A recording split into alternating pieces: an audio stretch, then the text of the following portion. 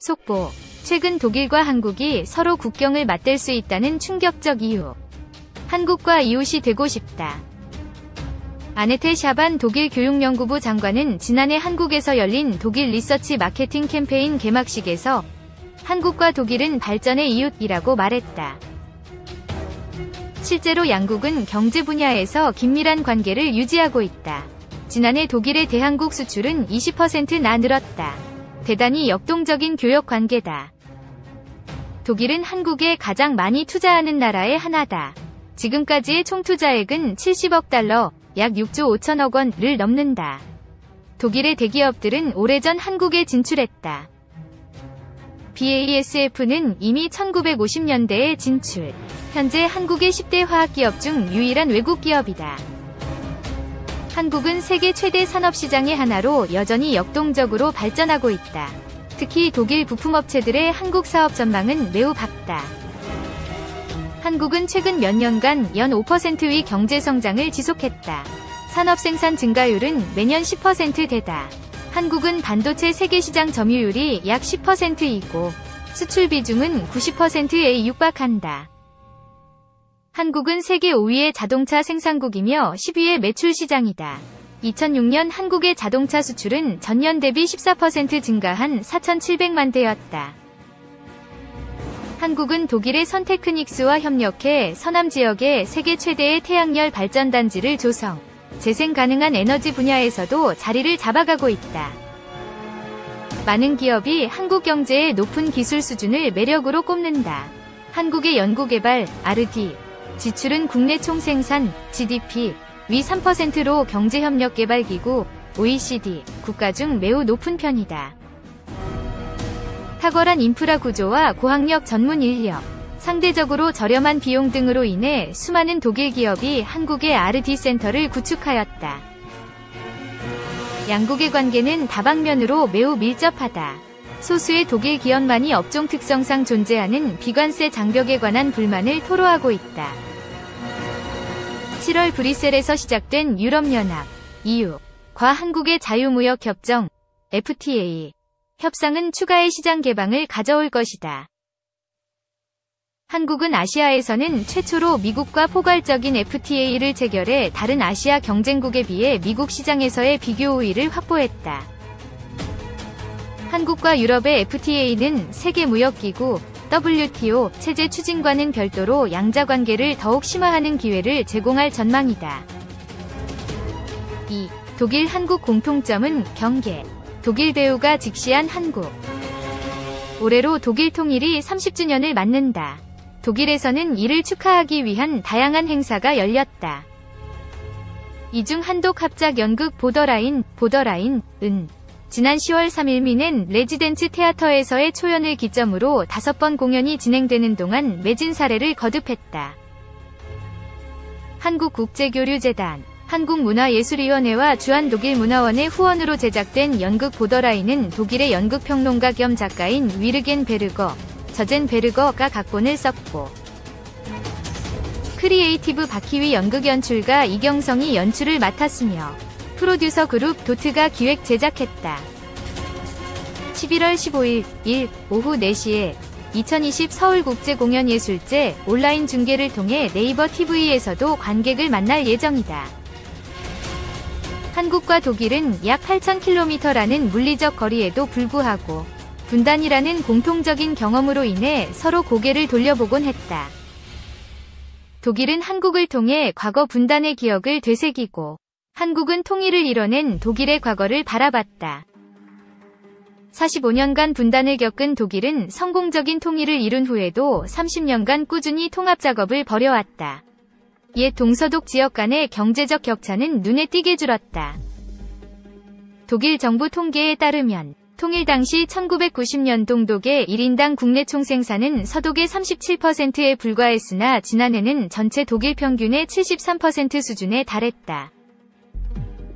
그러나 동독 출신의 안겔라 메르켈 총리가 작년 통일 29주년 기념일에 통일은 완전한 상태가 아니라 여전히 현재 진행 중이라고 말한 것처럼 동독 출신 시민의 마음의 장벽은 여전히 남아있다.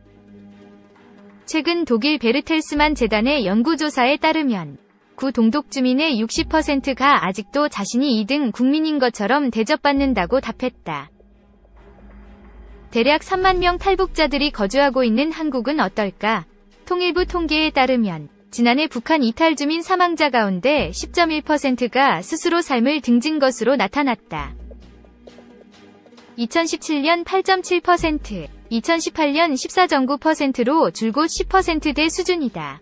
김영주 더불어민주당 의원은 지난 7일 북한 이탈 주민의 높은 자살률은 안정적인 정착 시스템이 부실하다는 반증 이라며 세심한 배려와 체계적인 보호 시스템이 필요하다고 지적하기도 했다.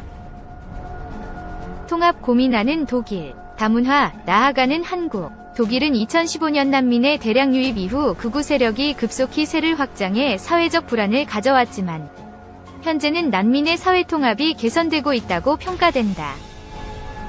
독일은 동서독 통합에 이어 난민 통합이라는 문제까지 떠안고 있는 복합적인 사회다. 현재 다문화 사회로 나아가고 있는 한국의 현 상황을 고려해본다면 양국 간의 대화는 시사점이 크지 않을까? 통합이란 무엇인가? 기존의 시민들이 느끼는 두려움 및 새로운 이주민들에게 노출되어 있는 차별적 환경에는 어떻게 대응할 것인가?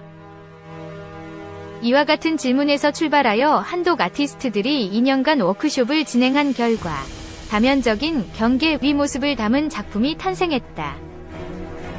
이 연극은 망명과 도착, 분단과 통일 같은 사회적인 위제 외에도 가족 간의 소외감 같은 사적인 관계에서의 경계로도 사유 범위를 넓힌다.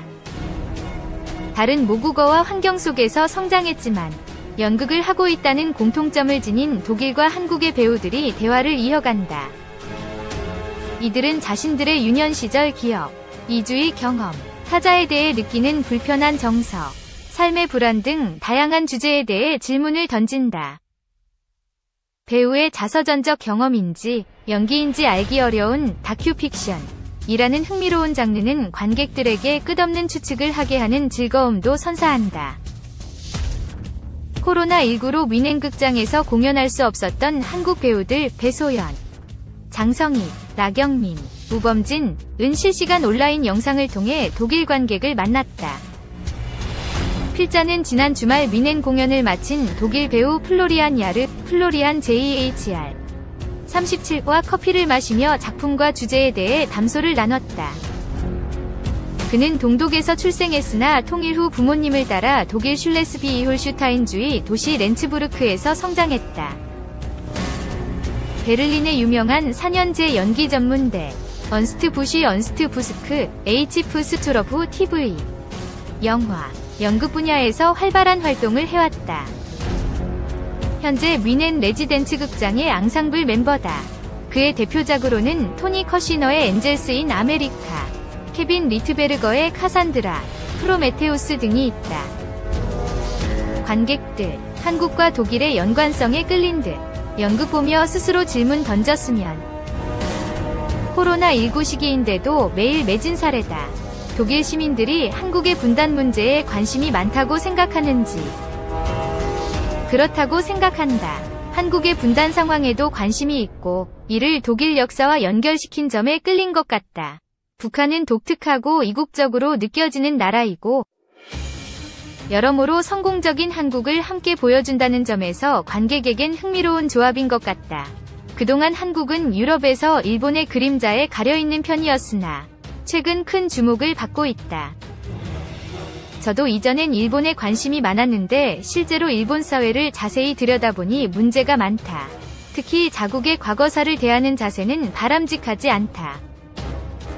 이 작품에 참여하게 된 계기가 궁금하다. 이 작품이 맘에 든 가장 큰 이유는 한국에서 작업하게 된다는 사실이었다. 독일에 한국 친구들이 있어 평소 한국 문화에 관심이 있었는데 여태껏 한국에 가본 적이 없었기에 호기심이 생겼다. 6주간 서울에서의 예측할 수 없는 모험이 무척 기대되기도 했다. 우리가 미넨에서 함께 워크숍을 하는 동안 연출가와 동료 한국 배우들과의 케미가 좋았기에 더 마음이 설렜다. 베르거 작가는 수년간 독일, 태국, 한국을 오가며 기존 삶의 터전을 떠나 정주할 곳을 찾는 사람들을 인터뷰했고 이를 바탕으로 극본을 작성했다고 들었다. 저는 우리 팀 중 제일 마지막으로 올해 1월에 join했다. 위르겐 베르거 작가가 한국 심포지엄 행사에 참가했을 때 이경성 연출가를 알게 되었다고 한다. 남북한의 경계 및 인간의 경계에 대한 작품을 구상하고 있을 때 레지던츠 테어터와 인연이 닿았고 점차 독일의 역사와도 연결시키는 방향으로 기획되었다고 들었다. 한국 팀과의 언어 장벽으로 불편한 점은 없었는지 궁금하다.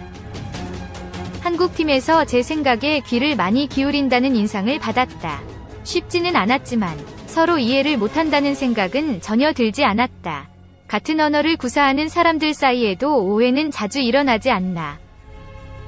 한국의 휴전선에서의 경험은 특별했을 것 같다.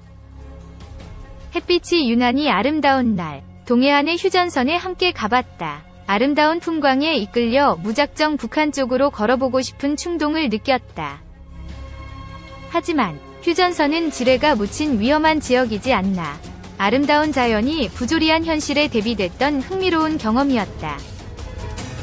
이 작품은 물리적 경계뿐만 아니라 심리적 경계에 대해서도 무수한 질문을 던진다. 우리는 유일한 진실과 현실은 존재하지 않는다. 라는 전제하에 큰 그림을 그리고 싶었다. 예를 들어, 어떤 이는 휴전선으로 보호받는다는 느낌을 가질 수도 있고, 이상 가족들은 당연히 슬픔을 느낄 것이고, 어떤 이들은 국경 자체를 원하지 않기도 하는 등 삶에 대한 다른 관점이 존재하지 않나. 연극 속에서 어떤 정해진 정답을 이해한다기보다는 관객 자신이 스스로 질문을 던졌으면 좋겠다. 답보다도 던진 질문들이 더 흥미로운 작품인 것 같다. 배우들 리허설 때도 연출가의 특별한 설명은 없었다. 그는 배우들에게 여러 제안을 던지고 같이 쓰기도 했다. 저도 처음으로 개인적 경험을 쓰게 됐다. 동독서 잘한나. 서독에선 늘 아웃사이더 느낌. 남북. 서로 경청해야. 본인에게 베를린 장벽의 붕괴는 어떤 의미로 다가왔나? 저는 당시 6살이었는데 이미지와 감정이 생생히 기억난다. 어렸지만 뭔가 큰일이 벌어지고 있다는 것을 이해할 수 있었다. 모두가 행복해했고 큰 안도감을 느꼈다. 통일된 지 두 달 후 부모님을 따라 북부로 이주했다. 친했던 친구들을 떠나게 되어 무척 슬펐던 기억이 난다. 서독 사회로 이주하면서 정서적 통합이 어렵게 느껴지진 않았나. 특별히 차별을 받았다고 생각한 적은 없으나 항상 아웃사이더라는 느낌이 들곤 했다. 지금도 개인적으로는 완전히 이 사회에 동화되지 않은 것 같다. 문화 차이도 큰 몫을 했다. 예를 들어 동독에서 성장한 나는 서로를 챙기는 집단주의적 마인드에 익숙한데 반해 서독인들은 좀 더 자기 자신만 챙기는 개인주의 경향이 심한 것 같다. 제가 배우로서 연극을 선호하는 이유도 저 혼자 주목을 받는 것보다 앙상블 그룹의 배우들과 함께 서로 감정과 지성의 공감을 이루는 아름다움의 매력을 느끼기 때문이다. 옛 동독 지역에서 반이민 반난민을 기치로 하는 극우당 AfD 지지율이 높았던 사실을 어떻게 보고 있나. 저도 사실 잘 이해가 안 되는 부분이다. 우리도 한때 이주민이지 않았나. 극중 그레이스의 말처럼 누군가를 환영한다는 것은 본인이 주인이라는 인식에서 출발한다. 그런데 본인이 주인이 아닌 아웃사이더라는 의식이 강하다 보면 이방인의 존재가 불편해질 수도 있을 것 같다. 왜 아직도 독일 내 사회적 통합이 미완성일까? 독일 사회가 딱히 이 문제에 대해 동서 간 소통이 부족했다고 생각하지 않는다. 서독 출신 시민들은 통일에 대한 경제적 비용을 지불했기에 어느 정도 우월감을 느끼는 것 같다. 동독 출신들이 2등 시민이라고 느끼는 것이나 상호 간의 존중이 부족한 점은 시간만이 해결할 수 있는 문제인 것 같다. 동독에서 서독으로의 이주 경험을 되새겨보면 북한과 남한 시민의 친밀한 공감대 형성을 위해 어떤 자세가 필요할까? 동서독에 비해 남북한은 분단 시간이 무척 길고 상호 폐쇄적이지 않나. 북한 시민들을 편견 없이 동등한 자세에서 경청하는 자세가 중요하다고 생각한다.